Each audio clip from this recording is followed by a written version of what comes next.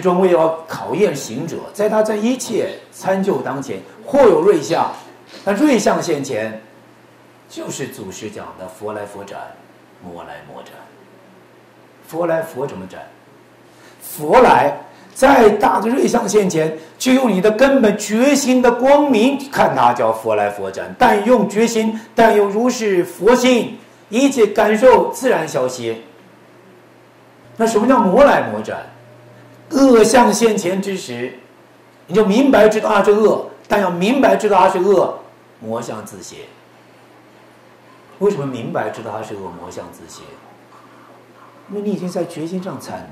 决心上参时，最初你知道决心处就是那个明白二字。你将来你自己试试看，你不要说你在参禅嘛。将来在这个这个佛门之中讲的了脱道中啊，解脱道中的任何修行，你用在世间，任何感受就是情绪不好啊，这种种种负面的一些情绪现前时，你只要心里能够让心静下来，看着它，知道它就是负面的情绪影响，你会发现，你只要这样的能看着它是明白它是，将来久而久之，再有同样的业力，纵然排山倒海而来，你已经可以。对他漠然，他再也影响不了你，所以那种影响不了，还不是就近。但你用到世间的造作的类似心态，你都可以得到如是的效果。何况是讲到你本来面目，什么叫类似的心态？就是你觉心之中本来就有如是智德，你明白处，它就起不了作用。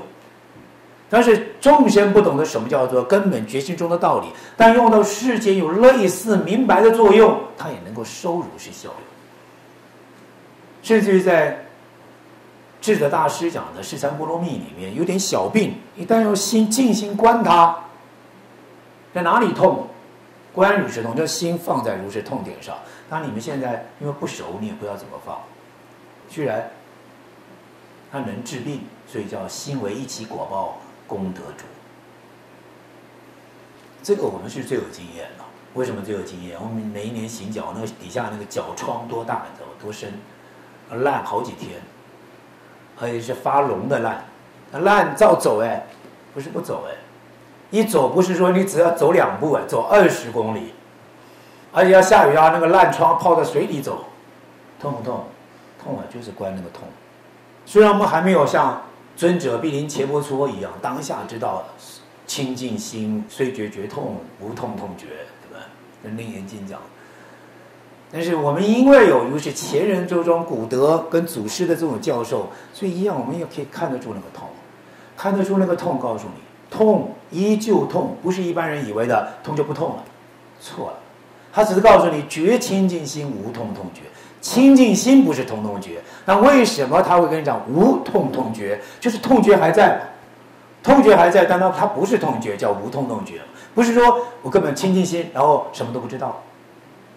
所以世尊成佛一样告诉你我头痛，我生病，释迦牟尼佛都给告诉你我头痛，但是你不能说释迦牟尼佛真的有病，为什么？因为他都在决心之中，证的如是大觉体，叫做成佛，叫做释迦，叫能人。能人就是能骗知一切法，能急当下根本不动，所以他觉得痛时也是啊，觉痛跟觉不痛都是觉，他一定能够知道痛跟不痛，甚至他比你都还清楚怎么痛。一般我们是凡夫一痛，你搞不好就已经快晕眩了，你根本不知道那个痛的变化。祖师、圣人、菩萨、诸佛，他那个痛中，他搞不好再剧痛，他都跟你分析出来那个痛中的种种过程，是抽，是刺激。搞不好他讲的比你更维系，不是比你更维系，能够入一切维系。因为他就在决心上看痛啊，觉痛觉不痛都是觉啊。那你说这个觉是痛是不痛吗？所以你不能说释迦有病，但你不能说释迦不知道痛，不明白痛，那决心不明白痛，痛不明白，那还叫做大圆满觉吗？那你永远没办法体会。你可以觉得痛时觉心非痛，什么意思？而觉心非痛处，他念念之间还能够如实知了一切痛，这叫道家慈航。但这事实上就是你决心的根本面貌。所以一切感受都要在，你不能离开一切感受，但你却要在一切感受都在之时，都这么强烈当前，你要证得它的本来面目，将来在本来面目上感受就依旧在。过去没开悟时是什么感受，现在依旧是什么感受？讲起来简单，那是难行啊，那是苦恨。我说那个难是特别困难的难。